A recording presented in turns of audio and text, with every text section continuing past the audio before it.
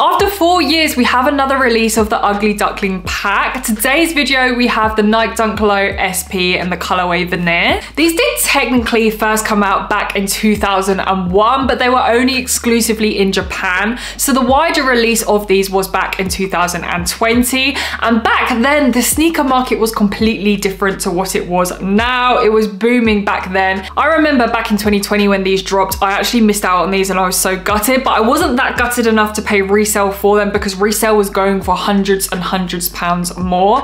I actually did take a look at some retailers before these dropped out and they're still selling for about 300, 400 pounds, which is absolutely crazy. So for these to be re-released and an opportunity to pick them up in retail and in a completely different sneaker industry market now is absolutely amazing. However, even though the sneaker industry is different, I don't expect these to sit and for anyone to just pick them up. So if you are looking to pick them up, you still got to be on your toes to snap them up. The Ugly Duckling pack is made up of three different pairs, three different colorways. We have the ceramic, we have the plum, and in today's video, we have the veneer pair, which I have recently just picked up.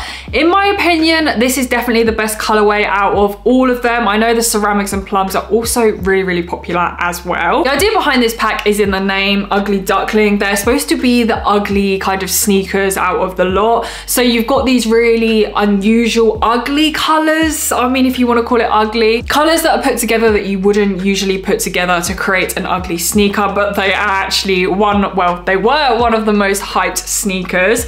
Um, so they're so ugly that it kind of just works. This is the standard Nike Dunk Low silhouette. However, as it is at SP, we do have some extra different features, which we will take a closer look into. These are very eye-catching sneakers. Whether you want to call them ugly eye-catching sneakers or not, that is up to you. But we do have the brown, purple, and the green. These instantly aren't colors that I would put together. But for me, on this pack, they do work strangely. One of the main features that is different about this Nike Dunk Low is the premium suede on the upper. It does feel so good in hand. It feels absolutely luxurious.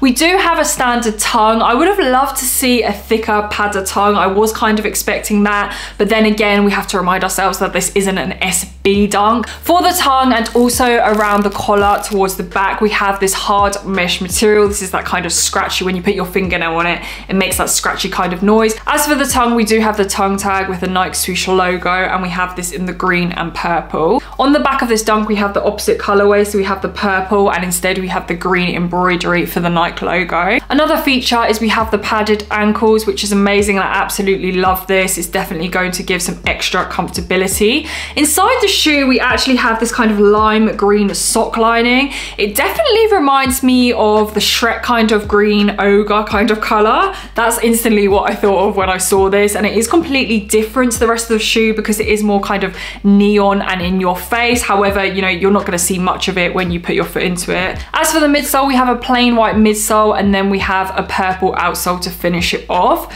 For the laces, we do get given a pair that comes already pre-laced and this is in the color purple. I was quite surprised to see that we didn't get any second pair of laces to put on with these. I thought because it's not a normal standard Nike Dunk Low, they might treat us to another pair. I don't know, maybe in this lime green color, but we do just get one standard pair in the purple. Following on from that, you do get the standard Nike Dunk Low red and white box. It would have been really cool if they did something different with this because it is an ugly duckling pack. I could have done some really creative design.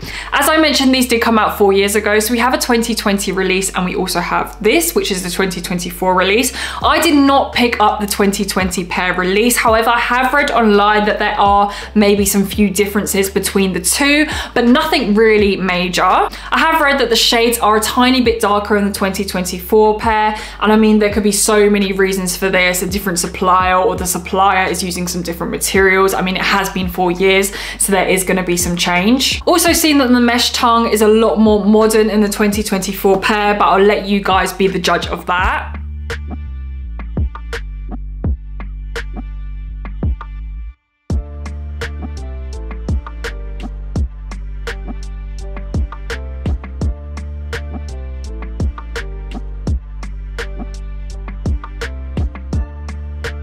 Dunks in general are a decent comfortability. I would say that these are a tiny bit more comfortable than the normal standard Dunks because they do have that padded collar. However, I wouldn't go as far as saying they're as comfortable as the Nike Dunk Low SB because obviously the SB is practically padded out everywhere. So I would say that these are comfortable, a little bit more comfortable than a normal standard Nike Dunks, but not as comfortable as a Nike Dunk SB. Sizing for these, I do not notice a difference at all. So I would recommend going true to size or whatever you get in normal Nike Dunk Lows. This re-release is amazing for anyone that missed out in 2020 and now has the opportunity to pick them up. And because the sneaker industry is different, I do think that these are going to be so much easier to pick up for retail. Also for people that potentially already picked up one of the other colorways and want to complete the pack as well. I have seen rumors that the plum is going to be re-released. I haven't seen anything yet in the ceramic, but I do believe that that is also going to be on the cards, but I feel like it will just be staggered throughout 2024. So if you're not feeling the colorway of the veneers, you can always keep a lookout for the other two colorways and make sure you are subscribed to my channel to stay updated. Personally, for me, this is my favorite pair out of the pack. I'm absolutely in love with this colorway.